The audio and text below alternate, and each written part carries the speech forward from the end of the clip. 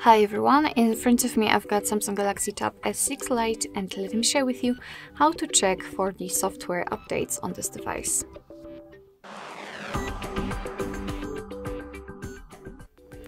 So first of all we have to enter the settings. And fortunately it is not really that hard uh, to find the software uh, information because as you can see sometimes your device will show you this um, this information that the software update is available.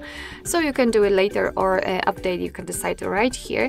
But if for some reason your device do not show you um, that the software that the software is available or you just want to uh, check it because you're curious and then all you have to do is to scroll down in this left section all the way down basically. And as you can see right here in this last section we've got the software update at the top.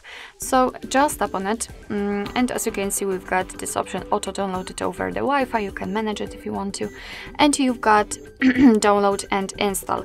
You can see that uh, where it uh, where you've previously checked uh, for the updates.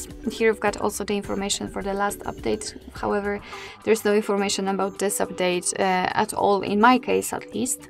So all you have to do is to simply tap on this first section and basically because uh, as you can see I've previously started to download the software update but if you will do it for the very first time first of all your device will simply check if there are any kind of software update uh, available uh, if they are then your device will automatically start to download it if not they uh, then it will simply give you the information that it is not available Alright, so basically that's all. This is how to check for the software updates in your Samsung Galaxy Tab S6 Lite. Thank you so much for watching, I hope that this video was helpful and if it was, please hit the subscribe button and leave the thumbs up.